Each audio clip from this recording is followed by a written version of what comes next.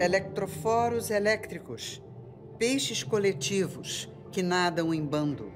Em união, geram força e luz. O sistema neuromuscular do peixe elétrico foi um dos primeiros temas da pesquisa universitária no Brasil. Eles capturaram a atenção de Carlos Chagas Filho, o cientista que trouxe a ciência experimental para laboratórios da Universidade do Brasil, articulando ensino e pesquisa, princípios hoje consolidados no meio acadêmico. A universidade é um local onde se ensina porque se pesquisa. A natureza, em sua potência, trouxe a inspiração para que de seu laboratório, no coração da Faculdade de Medicina, Chagas Filho criasse, em 1945, o Instituto de Biofísica, um novo campo de investigação acadêmica dos processos físicos que governam os sistemas vivos.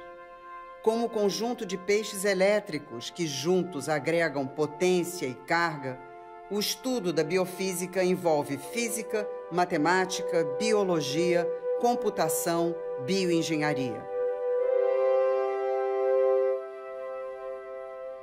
Chagas Filho também fez história fora do país.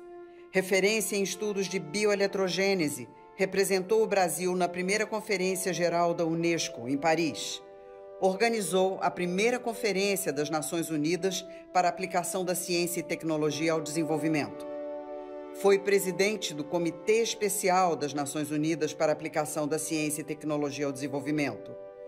Embaixador do Brasil na Unesco tornou-se presidente da Academia Brasileira de Ciências.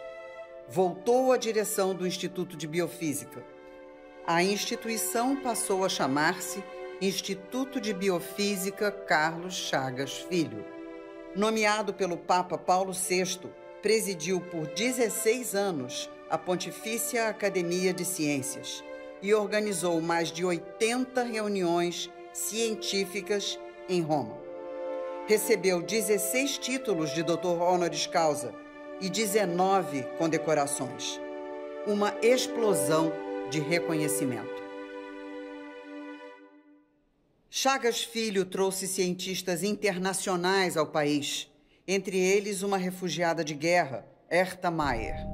Mulher, judia alemã, Herta encontrou no antigo laboratório de biofísica o ambiente propício para retomar no Brasil as suas pesquisas interrompidas pela guerra.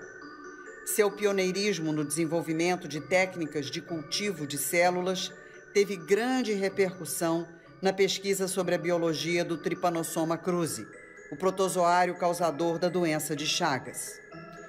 Endêmica no Brasil e outros países da América do Sul, esta doença fora descoberta no início do século XX por Carlos Chagas, pai do cientista que lhe acolheu no laboratório de biofísica.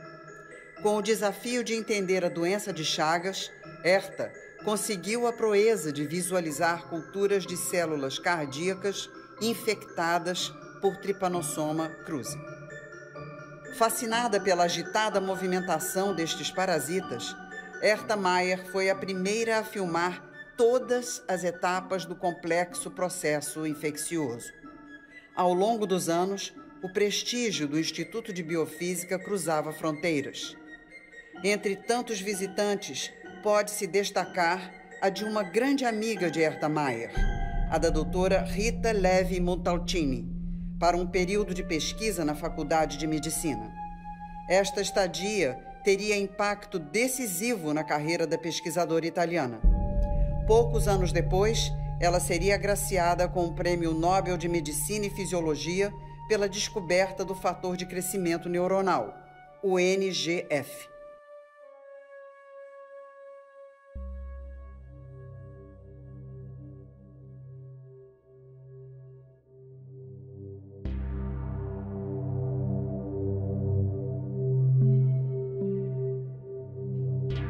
São incontáveis as contribuições do Instituto de Biofísica para a ciência brasileira. Descobertas, ensino, parceria em colaborações nacionais e internacionais. Conhecimento científico e imaterial, perpetuado na continuidade do estudo e da pesquisa.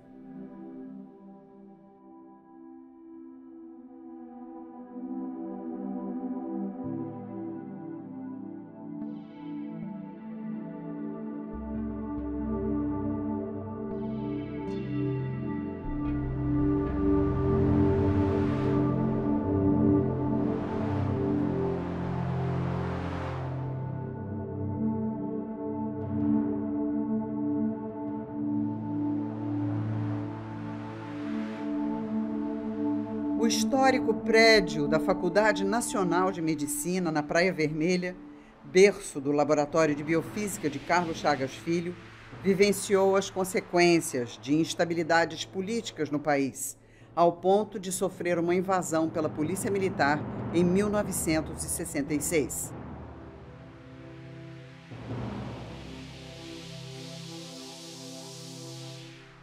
Durante o período da ditadura, por motivos não suficientemente esclarecidos, o prédio foi implodido.